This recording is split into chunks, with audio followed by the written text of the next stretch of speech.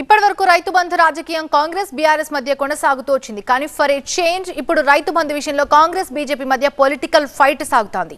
రైతు బంధు నిధులు ఏమయ్యాయో చెప్పాలని డిమాండ్ చేశారు ఎంపీ అరవింద్.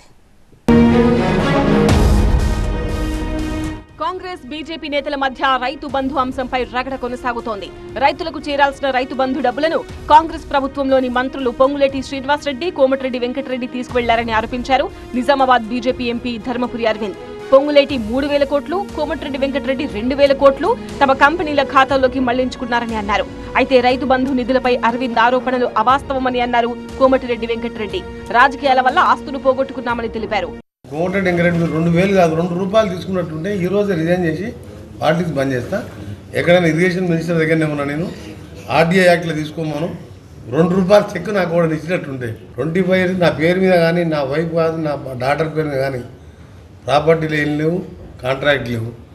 ఎందుకు మాట్లాడుతున్నాం ఎలక్షన్ దగ్గరికి వస్తున్నాం మాజీలం అయిపోతున్నాం భయంతో కొంచెం ఫ్రస్ట్రేషన్లో మాట్లాడు. మంత్రి కోమటిరెడ్డి వ్యాఖ్యలపై ఎంపీ అరవింద్ కూడా రియాక్ట్ అయ్యారు. రైతు బంధు నిధులు మంత్రి కోమటిరెడ్డి వెంకటరెడ్డి తీసుకోకపోతే ఆ నిధులు ఏమయ్యాయో అధికారికంగా వివరాలు వెల్లడించాలని డిమాండ్ చేశారు.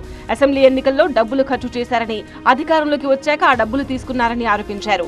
వెంకటరెడ్డి గారు ఇంటికి ఎంత తీసుకుపోయారు కాదు. ఆయన ఏ కిరాయి కవిత కూడా కిరాయి ఇంట్లోనే ఉన్నది మొన్నటిదాకా. ఏడు వేల కోట్లు ఏదైతే ఇచ్చేది ఉండనో డిసెంబర్ ఫస్ట్కో ఎప్పుడో రైతు బంధ పైసలు ఎటువైనా కుల్లా ఒఫీషియల్గా రిలీజ్ అవ్వండి ఇటువంటి డైలాగులు పొలిటికల్ డైలాగులు మీకంటే ఎక్కువ నేను విన్నా వెంకటరెడ్డి గారి కంటే ఎక్కువ ఆయన సీనియర్ల దగ్గర కూడా విన్నా ఇవన్నీ కాదు. ఒఫీషియల్గా రిలీజ్ చేయమని ఎటువైన పైసలు. ఇన్వెస్ట్మెంట్ చేసిండ్రు అసెంబ్లీ ఎన్నికలలో విచ్చలవిడిగా పైసలు ఖర్చు పెట్టిర్రు వందల కోట్లు ఖర్చు పెట్టిర్రు. పెట్టిన వాళ్ళు తీసుకుపోయారు. ఓటమి భయంతోనే ఇలా మాట్లాడుతున్నారని తనపై మంత్రి కోమటిరెడ్డి చేసిన వ్యాఖ్యలకు ఎంపీ అరవింద్ కౌంటర్ ఇచ్చారు.